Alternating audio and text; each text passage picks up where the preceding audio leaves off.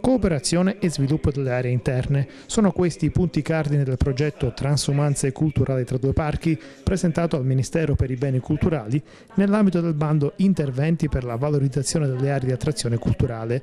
Sono oltre 40 i comuni coinvolti con Castrovillari capofila, compresi appunto nell'area fra il Parco Nazionale del Pollino e quello della Sila. L'obiettivo quindi è la riqualificazione del territorio al fine di valorizzarne le potenzialità da un punto di vista culturale, economico e turistico. Ci sono eh, peculiarità ancora oggi inespresse su questo nostro territorio.